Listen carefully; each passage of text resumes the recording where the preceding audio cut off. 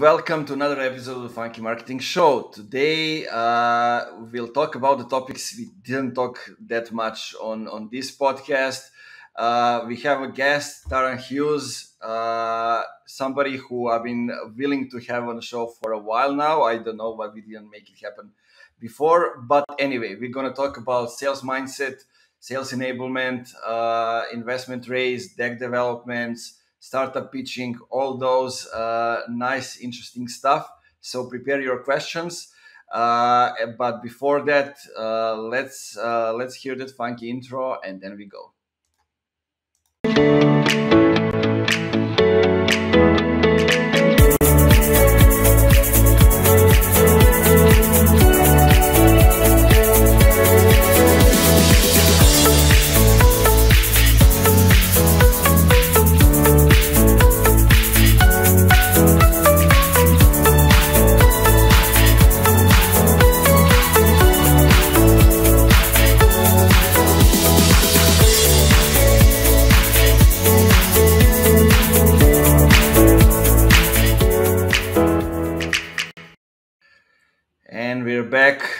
Taran, welcome to the show.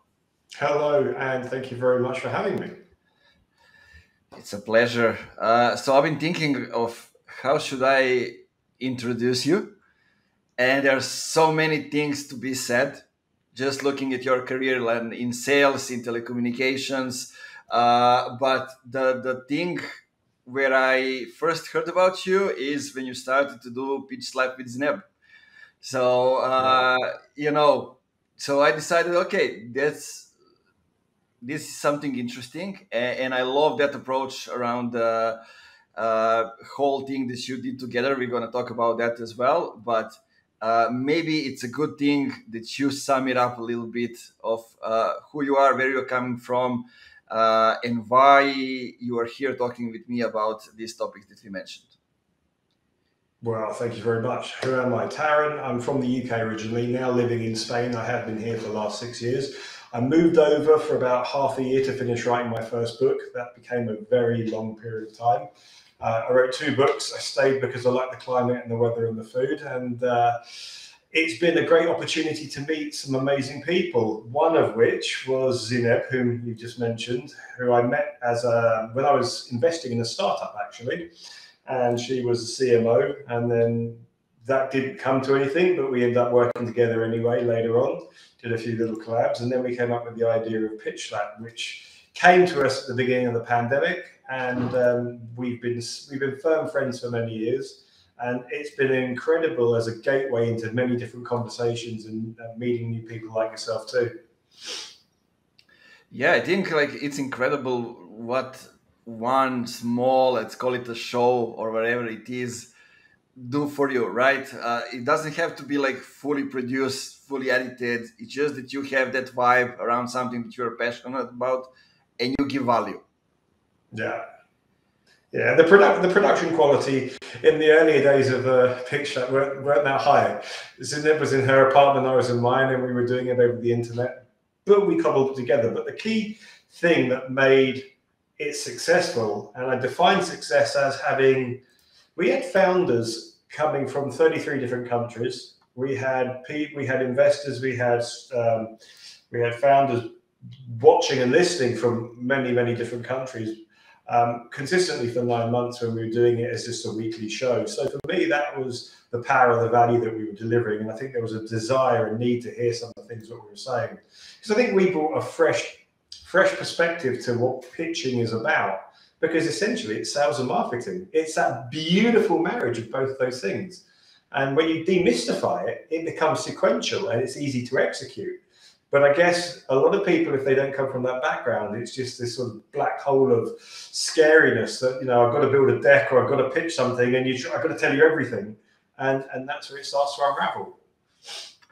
Yeah, to- totally agree. I mean, uh, I've been working a lot with Impact Hub Belgrade, and I've been in charge of getting early stage, even very early stage startups into the pre accelerator they had over there. So I heard a lot of pitches and a lot of startups, and there is really everything around there. So there's those that are actually startups, those that are not even startups, you know, but people are, you know, gathering together to work on something. And only that by itself is motivational. And then, you know, if, uh, you know, what each of these uh, things they are building can do to, I don't know, to small community, to a big community, to whatever is their goals, that's that's something significant worth uh, paying attention to and uh, and giving feedback and gathering them in the right direction mm, definitely uh, so there is one thing that you posted uh, recently. I wanted to uh, to kick it off with that, uh, and I'm going to read it now. despite the high risk of failure in new ventures, engineers and business people leave their jobs because they are unable or unwilling to perceive how risky a startup can be. Um, Harvard Business Review uh, said that, and you had a question: Do you think VC-founded companies attract talented people by appealing to a lottery mentality? And uh, I don't see that many, uh, you know, thought-provoking questions and posts on LinkedIn. That's why this one got my my attention. So let's get into it and talk a little bit about it. Sure. Uh, you know, I had. Still what kind of person goes into a startup? What gives up the security and the sense of a regular paycheck for this sense of, you know, overwhelming pressure, uh, uncertainty in terms of security, you know, exacerbated if you have a family to support, you know, the uncertainty of funding or, or earning money to live, etc. So it's like it's a giant gamble, but do people perceive it as a gamble? And um, is it like blackjack? And you know, you, you, you play a few hands, you, you, you lose, you keep playing until you win, or you, you give up the game and go and get a job doing something else. Um, and, and for, from my own lens, it was very much a case of well, age plays a huge determining part in this. I think if you're younger, well, uh, let me reframe that. A friend of mine said to me, "How do you how do you decide whether you're going to do something? It seems really risky, Taran. You're going to get into a startup." So, well, I'm still quote unquote young enough. I'm 49. I'm young enough to recover from a failure. That's how I look at it. It's not will it fail. It's can I recover and how quickly. So if you frame it that way, then it's not so much a lottery mentality. Then it's a it's a high risk, high return, high reward strategy. A bit like investing in cryptocurrency is a bit like investing in some fringe stocks, etc. But there is a degree of calculation and there's an underlying expectation or an underlying sense of my own self capabilities and what I can what I can deliver in a situation. The other part is the unknown, which is the risk. But I'm not buying a lottery ticket hoping to to, to win and be part of a unicorn. But I think most startup founders want to build unicorns, and I think that's where we're yeah. different. I don't. I want to build a business that's sustainable, and you know, with Avon Games, we're doing that. But I'm not planning to be the next Ubisoft or the next Tencent or. Yeah, I mean, uh, that's. I wouldn't tie it even to the to the startup founders. I would tie it to the to the today's youth. In mm-hmm. most cases, like uh, from what I'm seeing, and I work with a lot of youngsters.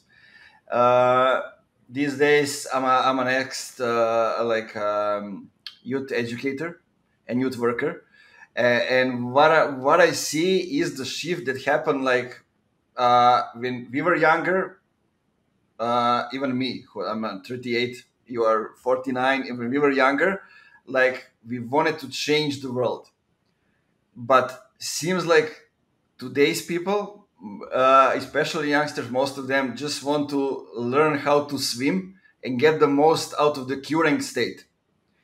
That's something that, that keeps appearing in my mind when I look at how things are developing. Sure, there are exceptions, of course, that are actually have a bigger chance of changing the world because they are exceptions. It's not everybody that has that mindset. But um, things that comes to my mind is, you know, uh, I want to learn earn a lot of money. I can do it by building a unicorn, by building a startup. And, and then basically everything I do, I turn towards that direction. And you know, uh, I've been working with a lot of companies. Some of them wanted to be unicorns. One of them is actually on the way to become one. um, and it's a tech development company. And, and like I stopped working with them because I couldn't get results out of the structure in the company, and I didn't like the mindset. But it's the mindset that gets them to the results. So I'm kind of like now in the middle. What I uh, want to say is the mindset is um, fast forward, 10x growth. You know, they're all repeating that like a mantra inside the company. Now they have they have a, a, a great guy who was on my podcast, like Nikos Slavnic, who is CMO, who knows how to do it and opens each uh, new market every month, no matter how small it is, and that's how they they keep growing. Uh, but it's all very much aggressive because Accenture is the Northern Star, and they are, you know, somebody that's coming from Serbia, uh, and it's, you know, looking from our perspective, it's really admirable. On the other perspective, it's like, um, okay, maybe I want to get on the train for a couple of months and then I want to get get off. You know so just a few thoughts uh, around the topic. Uh, no I, I completely agree. You're right. Everything is geared towards hyper growth and acceleration. But i think what's lost in that scramble is the realization that the process is catabolic. It actually consumes the core of the fabric of the company the people the resources that is actually consumed in in propelling it i worked for um, a telecoms company for a number of years, and they went they went through a massive round of acquisitions. I think in the end of something like 35 acquisitions in eight or nine years, which is an incredible number of acquisitions. And it's just it's just absorb, pick out the bits you want, discard the rest. And it's everybody is just working towards this this mythical event, which was the um, the IPO um, when we listed. It was and don't get me wrong, I did very well out of that, so I'm not complaining.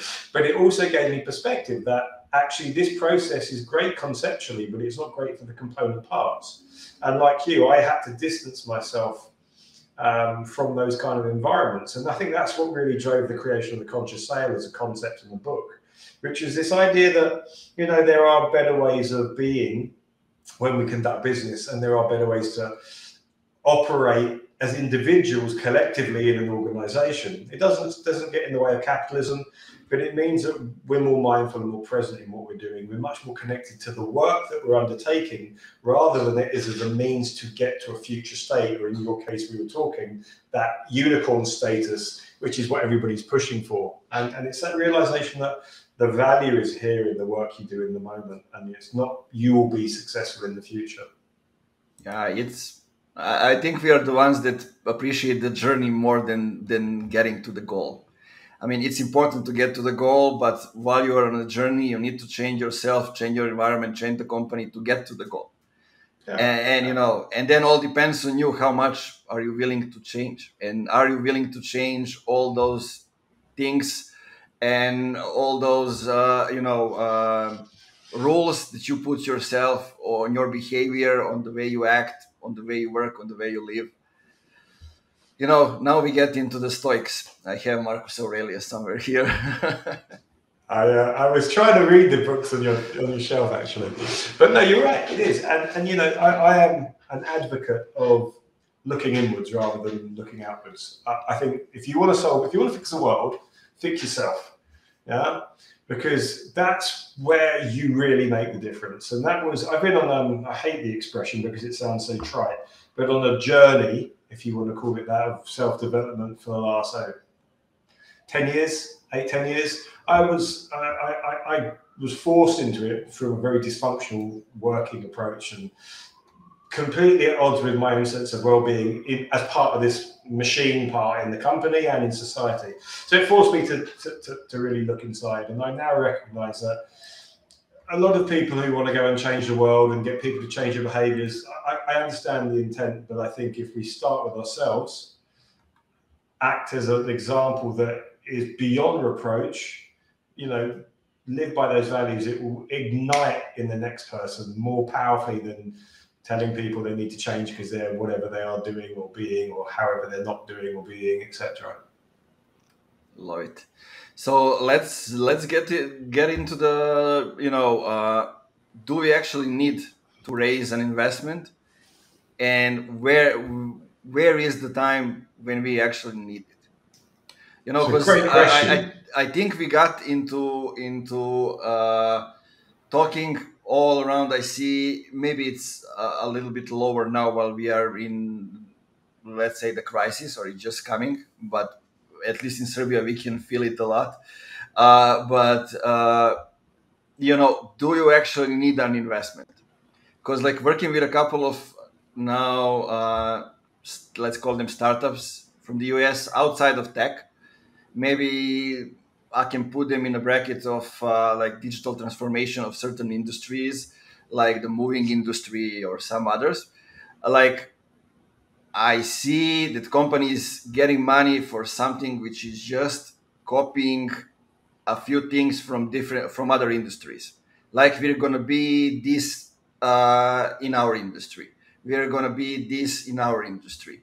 Not going from the customers developing something that is truly uh, important yeah i mean it's a great question it was someone asked me that question about a year ago and i said well you know actually don't raise if you don't have to because working with vcs or or financiers just introduces a whole host of challenges and constrictions and and um, considerations that you otherwise wouldn't have to deal with. But I guess if we go one step back and say, well, why? What kind of business do you want to grow? Okay, I think there's a romanticization about unicorns, and everybody strives to build a unicorn. Where I think people should try. I say should. My understanding is it's better to try and solve problems and do something really well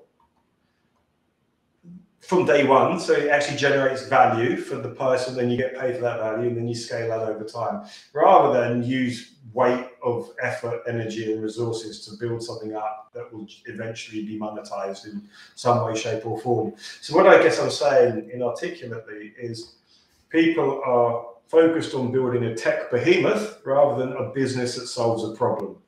Okay, if you start with the position of I want to build a pro- business that solves a problem for somebody, usual avenues of family and friends and and and the various different approaches to raising the capital to start that, I think is great.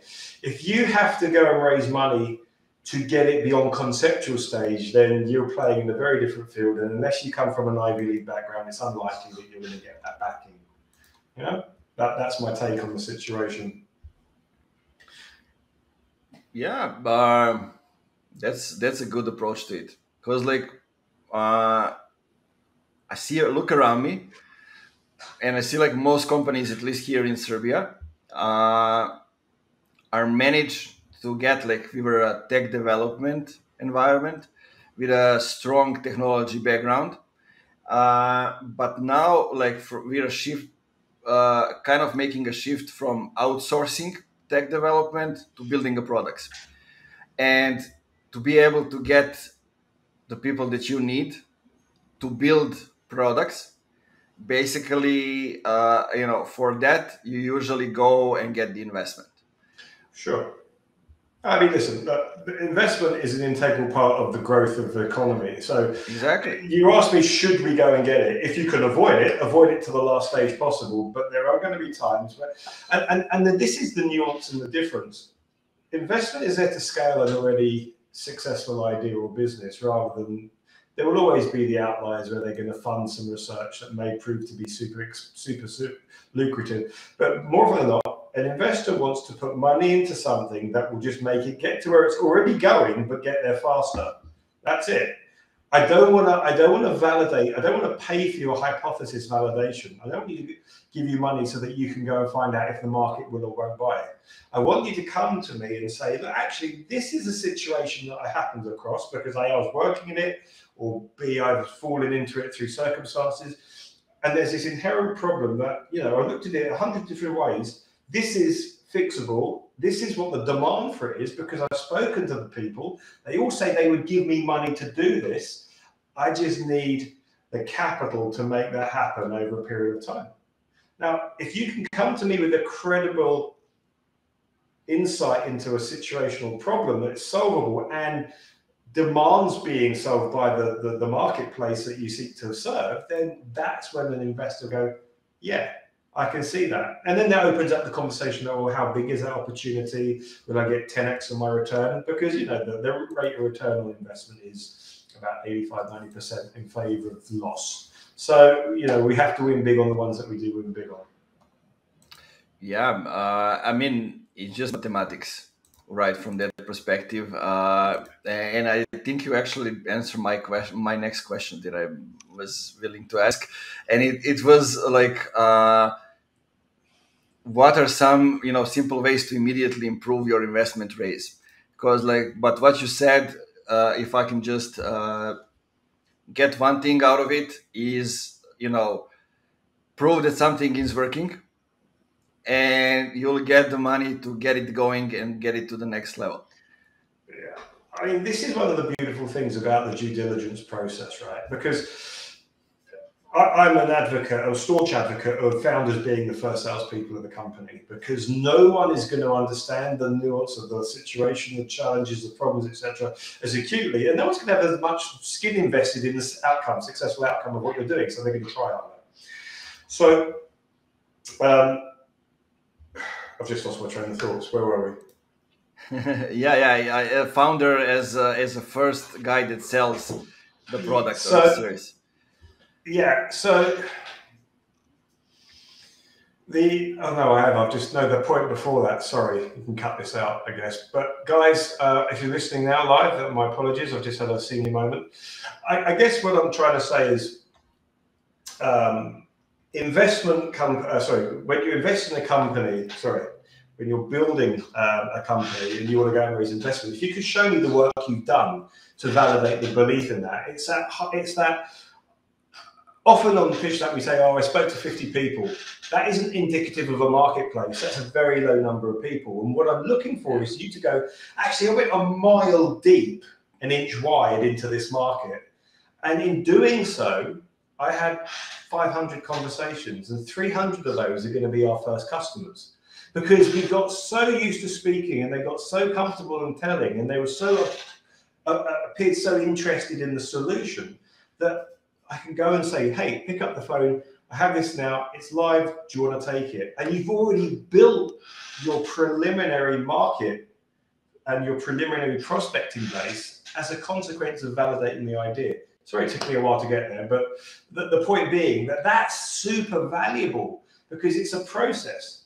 Then you go, okay, validation leads to sales. Sales leads to you know promotion of the value that you can then expect to get as an investor. So all of these things are critically intrinsic in the process of raising money.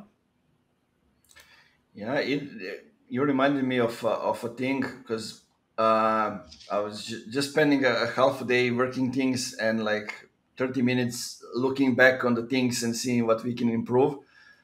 And like, you know, just hearing somebody say that, oh, we had like 50 conversations. Like when I uh, started funky marketing. I didn't know that we were going to go into the b2b so uh, i just know that i had 9000 collections on linkedin and i wanted to to speak with as many of them to see what's out there. So i had like more or less 270 virtual coffees with people.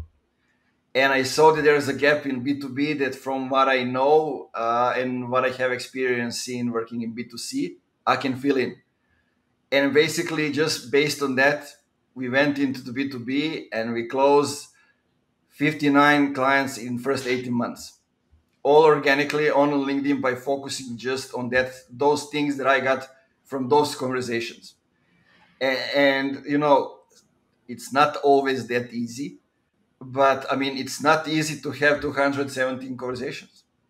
Right? It's it's a lot of conversations to have yeah. to get to prove so, if something is just a hunch or that's actually a thing that is happening. But that's one of the things that distinguishes you from somebody else looking for an investment. So if, if I can find out what you're telling me by looking up on Google, then it's no value to me. But hopefully, what you're coming to me with is a specific insight elicited from those conversations that have gone to the heart of a particular problem. you won't get that research anywhere on, on Google from a from a browser search. That has to be that has to be curated and nuanced from conversation, and then from the right body of people. I could speak to a thousand people, none of them are YIC. So if you're if you're coming from that position, you're starting to look credible. You may not have a credible business, but you as an executor of a business looks credible, which is another component of what makes people investable. You know, having a great idea and not being able to execute is the age-old problem. Exactly, exactly. Um, let's see what are some, uh, you know, because I want to make it uh, practical. Let's get to a few small, simple advices that people can, you know, use to be able to optimize what they already have to be more approachable towards you know uh, raising an investment what are some small simple things that they can use maybe to talk about things in a different way not just to present them differently uh, it's always about the value of the solution yeah to the person that you're solving it for the size of the problem may be um, something you see and not shared by the audience. So communicate the scale and the impact of the of the solution on the market very clearly. And I think spend plenty of time getting you know a cross section of that feedback so you can distill it into a very salient crisp singular line uh, from from the perspective of communication most most investors are looking for some kind of formalization in the deck um, that deck is merely a sales and marketing document. It's not to be it's not to be feared. It should be simple and it should be the basis to get the next conversation. If you look at it that way, then you'll stop trying to put war and peace in the in the 10, 12 slides. So keep the information in the deck to what's relevant. No more than two or three pieces of information, ideally two pieces of information per slide. Every word has to count every word that you're going to utter, you should write down and then ask yourself, do the words I'm speaking when the screen is, the slide is on the screen, does it relate? If it doesn't, why not change it? Can I say that one sentence more succinctly? Does the audience get it? Yeah, so take this critical approach of does it meet, do they match up? And is it really saying what I want it to say? When you've done that first draft, here's the killer one. What three things is one of my favorite tri- uh, tricks for people to do? Find someone you trust to give an honest uh, feedback, deliver the pitch, whether it's spoken or it's a pitch with a deck, let them listen, and then when it's finished, ask them what three things stood out the most about what I just told you because we often have an idea that we're really emphasizing one particular branch of communication, whether it's the problem or the solution or the profitability. But the audience will cue into what's most apparent to them. Now, one one swallow doesn't make a summer, so you go and do that with two or three or four people. If you get the same thing over and over again, and it's not what you're looking for, you've got to change the content. But I think that's super powerful, and anybody can do that with any materials they create. Yeah, there, there is there is one thing. Uh, I mean, what you said matters, and not only for like uh, sales decks, sales pitches. It works for any public speech, you know, that you are preparing. Um, there is one thing I was uh, I wanted to ask you, uh, you know, because most of the uh, pitches begins with uh, with two things. We are the name of the company. This is our team, and then they go to the problem. Uh, or they start with a problem, and then they go and talk about themselves. Yeah. But they just, you know, announce the problem from the start. And there is uh, the third thing that I see started to, to get traction recently uh, and it is uh, like the strategic narrative thing where you get to show them like the bigger change and then you narrow it down to the problem and then you go go further by that. What do you think which of these things uh, can we use where do we use each one of them and what's the best practice just by experience yeah, I think the strategic narrative piece takes time to unfold properly. and therefore I, don't think it has a place in your five minute pitch because you don't you, you, you're creating a backstory and I'm not interested in your backstory. At that point, if you, you've got to frame it from the point of view, what am I what is the other person trying to get from that five minute, 30 minute piece of time? They want to decide whether they're going to invest another 30 minutes or an hour talking to you beyond that, right? So that's their point of view. So talking about the strategic narratives and your backstory is, is not appropriate as far as I'm concerned, the very first slide that you create, if you're using a deck, or the very first thing that you communicate spoken, um, should give me a sense of what's coming. The name of the business and a singular sentence that frames the industry, the disruption, the problem, something that goes, ah, oh, this is a business about this industry disrupting this problem or this benefit, something that I can then anchor my sense of awareness around, and then everything follows from that. So I kind of like the, the, the first page giving me that foundation, then going straight into the problem, yeah, that I see, and then the solution. I tell you that the whole team thing is only appropriate early on if there is a technical reason why your credibility needs to be established early so that it gives more credibility to the your, your to the perception of your ability to execute. Because if you're saying, "Oh, we're going to build a, a quantum computer, we need 500 million dollars," and no one's got a technology background, no one's an academic, it's like so you kind of will establish that you're the right people from the beginning so it's nuanced as to whether that needs to happen early or not, depending on the kind of business. But typically, I prefer that first five minutes to focus on the, the problem, the solution, how it's going to impact the, the market, the opportunity, etc. Condensed into five minutes. After that, give me 30 minutes, I'll tell you that story and I'll give you more context because data communicates stories, you know, make, make people remember. And that's how we as humanity have shared valuable information to storytelling. It's no coincidence that's happened. So that's a very powerful medium. And it also speaks to the type of person that you might have on the other side of the screen or in the room. Not everybody processes information in the same way. So if you have some nice cold data, that's going to appeal to someone who's very left-brained. If you're if someone who's a lot more more emotional in their in their evaluation, they're going to want that story to connect with. So not everybody interprets information in the same way, nor are they going to take from it what you think is coming out of it. If that makes sense? Yeah, makes perfect sense. Like adjust uh, the story, the presentation, everything towards the person who it is for, right? And, and that's that's also the way I look at, for example, like strategic narrative. It's about when you create a category. It's not when you when you do a pitch for something for something else. So you need to have a context. It's to arm your salespeople to kind of spread the story around. Uh, and uh, talking about about sales, let's get a little bit into the those things where you wrote a book about, like about conscious, conscious sales, and uh, you know, um, the question that I want to ask you first is how can we actually improve the sales mindset? because that that seems to be like a generic question and i want to hear like where is your answer coming from where is the the question taking you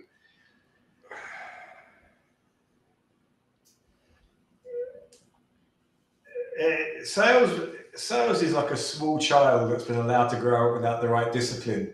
And it's become an unruly teenager and it's it's proving to be difficult in the uh, in the in the family unit of business etc so we're having some really bad practices playing out. So my answer is we, we need to go back to the way that we create salespeople and before that how we create human beings and how we prepare them i think one of the things that i tried to do in the conscious sale was introduce mindfulness and mindset and presence awareness in a non-woo-woo type of way because salespeople we're very critically cynical about these things, and it sounds woo-woo will probably dismiss it.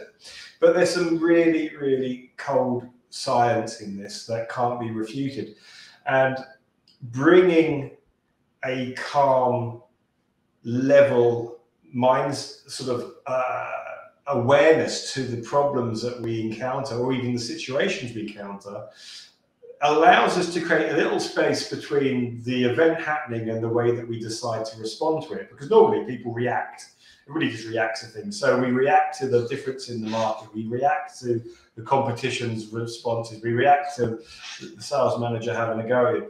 So rather than just stepping back and working from this foundation of calm and saying, okay, none of this is a problem. It's just how do I optimize the results I get? Okay if half of my energy is trying to manage these ideas that are spinning around in their heads, because a lot of the things that people deal with are completely below the radar for everybody else. We've all got this little voice in our head, well, most of us do, and it doesn't always say nice things, and it doesn't always speak up when it should, and sometimes it doesn't shut up. So it's learning to understand how to harness your, your innate power to get things done from these three core tenets of being um, in an elevated state of being, be making yourself more resilient and more energized than your normal baseline of operation. It's like climbing a hill, you can see further. If you're in a forest and you can't see the way out, but you climb a hill, you can see direction. It gives you a sense of purpose, it encourages you, so it's, it's, it's, it's helpful. But most people live without intention, or we have an intention that's linked to some intangibility. So we talk about success Success is not something to be appreciated or enjoyed in the future. It's something that you should experience in the now because it's a, it's a feeling. It can't be experienced any other time than in the present moment. So it's drawing people's awareness back to this present moment and how they can be more effective if they're completely connected with what they're doing than if they're thinking about if I do this, I'll get to that goal, I'll get to my, my, my quarter number, I'll get to my commission check. So to make a better sales mindset is to first of all take a look at who you're being in this moment. Are you super noisy in your head? Are you always sort of flittering from one thing? Do you, do you, do you find that you are your sense of well-being or how well you're doing is very much in the hands of other people do they determine how you feel by the critique or the positive endorsement they give you all these things allow you then to start taking stock of where you are at this moment and then you can start taking steps to regain your power and it is genuine power because people can say stuff and it goes, well, it doesn't affect me like it would do before. So it's this process of self awareness and then building practices that will help you become less aware of the ripples in life, the little road bumps that we might otherwise call disasters. And it allows us to actually become that much more engaged in what we do. And when we really engage with things, we tend to become more sticky as people. People tend to seek you out and want to have conversations with you because they find your your your, your sense of focus really captivating. And then you start sparking with ideas with these people and you get proper connectivity, proper communion. And you talk to people in a much deeper way, which results in better relationships. Relationships are foundation of trust Trust is what business is built on, and, and, and that allows you to quote unquote experience the success of being a salesperson. But it's not about the money, it's about that in the moment, getting that done, and everything else becomes a byproduct. There's a bit of a long winded answer there. No, no, it's it's a great one. It got it got me into thinking of some of the things and prove some of the things that you know that it is there. Because like I always get back to myself. You know, I never consider myself as a salesperson. You know, but we're starting a company. I needed to sell, and I did it well because I did my research and I understood who I'm talking with. And I didn't want to actually sell to anybody. I wanted to build relationship with people. And you know, there is and there is one sentence that I was using. Um, I use it in, in Serbian. In English, it would be I would be enlightened to to uh, hear hear more about you. And there were people responding. Nobody ever asked me. Nobody ever said they would be enlightened to hear about me and my life and my business and my work. You know, but it's just like that. You know, those things that got you uh, differentiated is that what you are saying is it trustful enough that they believe that you truly want that that it isn't something behind it as you said for example like the money or whatever it is Hundred percent. That's what I talk about as congruence. Because if you think about it, we as a human, as a species, we create on three different planes. We create at the level of thought. Nothing in the in the world that has been made didn't start off as a thought. So everything starts as a thought, then it gets communicated verbally. We speak it, we share that thought with another, and we, we try and create more energy around building that into a reality. And then the final thing is our actions. We take action. We pick up the hammer, we cut the timber, we build the table, whatever it is. So when we're congruent of our thoughts, words, and actions, everything we do becomes amplified and becomes more uh, potent. When someone says one thing and they're thinking something else, there's that little uh, bullshit meter going on. I don't trust you, Mr. Salesman. I just think you're trying to get my money. And I think when when salespeople stop treating customers as a means to get money, customers will try, stop treating people like they're trying to do that. You know, they'll stop seeing them as someone trying to take money from them, and because there's no baseline of trust. So I think you're 100% correct to, to, to think that you you've got to have a common ground and somewhere to speak from before you even think about selling. Yeah. Uh, look, I'm I'm uh, trying to get into into the B two B sales communities. There is one uh, now open in uh, for the people from Balkans, from Serbia, RevGenius, and I'm just listening what's going on over there and uh, and you know most of the people have just one mindset that goes towards what they are doing.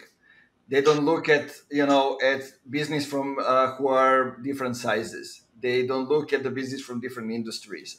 And then don't try to get uh, you know to learn a little bit from all sizes and to get better in what they do in their own industry or in their own niche. Like enterprise sales is totally different than the uh, you know when you are selling to the SMEs. It's totally different, uh, but still, you know they will say what you are doing for the SMEs. If you are talking with somebody, two person salespersons selling to different people, they will sell you are talking bullshit, and the other one will tell him you are also talking bullshit because they don't try to understand each other. And it's not only on that level, it happens also inside the company, and there are always those kind of silences happening again. But the thing that I notice is that the best salespeople are also good in marketing, which means good at understanding who they are selling to, good at, uh, you know, they don't need to create content, but they know how to do it and they understand the value of it.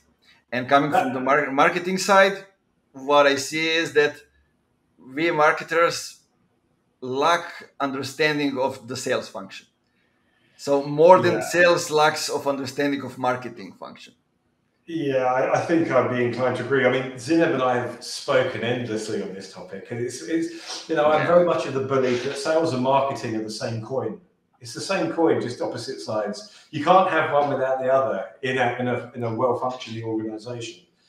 And there has been very much a separation between oh, historically there's been a separation between the two and they kind of acted independently of each other to the detriment of everybody in those departments. But I, I, believe that well i didn't even realize some of the things i was doing in my sales role were marketing because they weren't being done by marketing as things i did. And then I, I kind of get reset on that and i like okay so that's that's the there's the boundary i couldn't determine where sales began or ended and marketing started or stopped. And I think you know this is a controversial thought. I think LinkedIn is very much dominated by marketing rather than sales.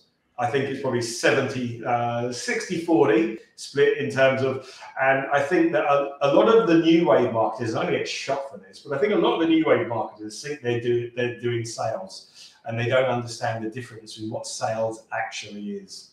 It's not even how to do it, they just don't know what it is. They think what they're doing is almost sales and they miss the mindset you don't need to have a tenacious and resilient mindset in marketing the way you do in sales when you're expected to make phone calls to people who may be having a bad day and see you as a convenient way of taking it out on someone.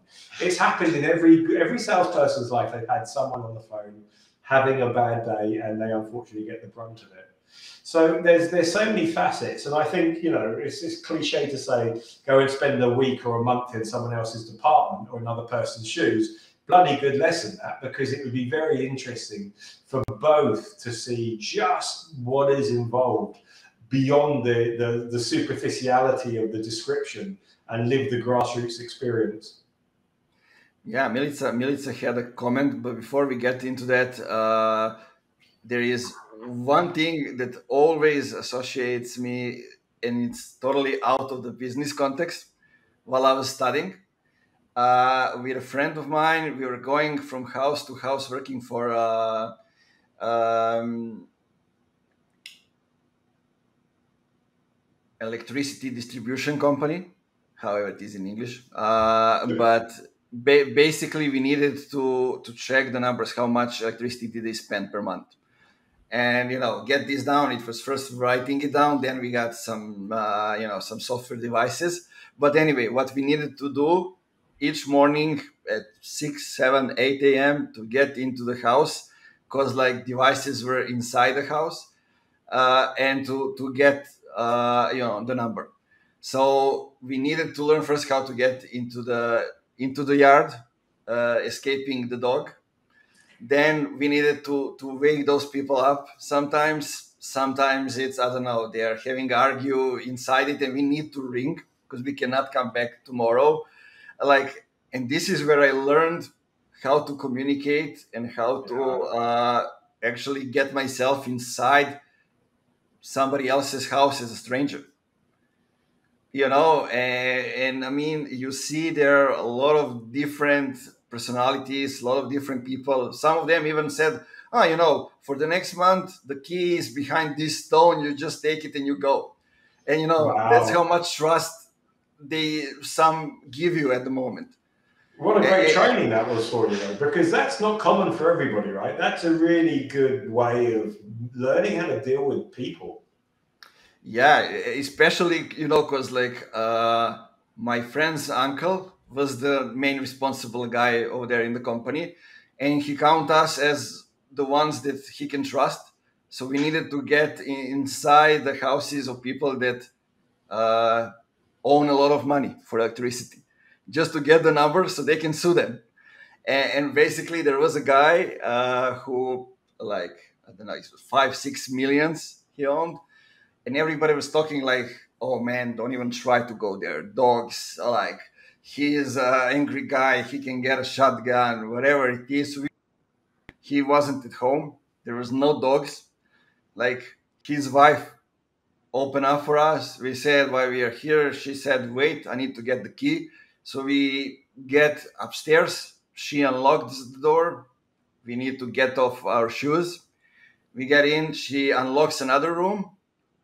Then she removes uh, the bed, and inside the the locker, there's a there's a device. And I'm like, it's not that the guy is dangerous, but would I come back to do all these things another month? No, I would just keep it. wow. How incredible. Yeah, so I mean, you learn these things on a lot of different occasions, a lot of different stuff. And what I w- wanted to say, you never know what you know until you get in the position that demands you to show it. But you know that goes back to what we were talking about about being present, and I, I 100% agree. By the way, and I had a similar kind of education in retail years ago when I started working uh, in, in my first, in my first job.